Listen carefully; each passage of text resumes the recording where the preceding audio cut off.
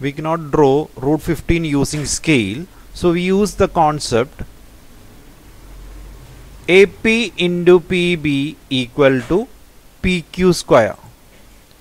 Take AP equal to 5 centimeter and PB equal to 3 centimeter.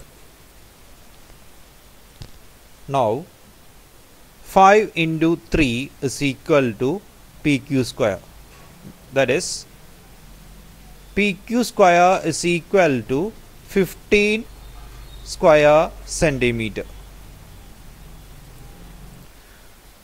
That is PQ square is equal to 15 and PQ is equal to root 15 so we'll get PQ as root 15 now we move on to the construction. First draw a line of length 8 cm. Mark A and B on its ends.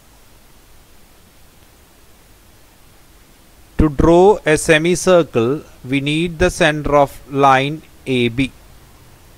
For that, we can draw the perpendicular bisector of AB using compass. Draw arcs from A and from B.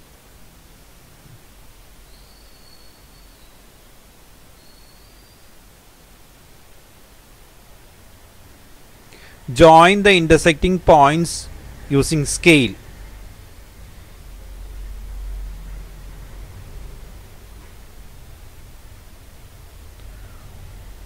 Mark O as the center of AB. Draw a semicircle with O as the center. Mark P on AB such that AP equal to 5 centimeter and PB equal to 3 centimeter.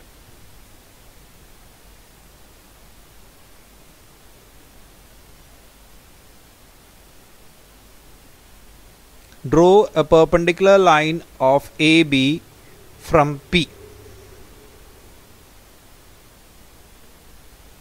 Mark Q on the intersecting point of that line with the circle. Now PQ is root 15. The length of PQ is root 15.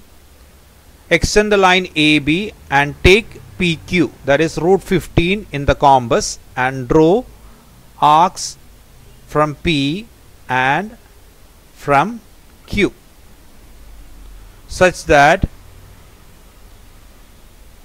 both the arcs are of length root 15 the mark the point R and join QR and PR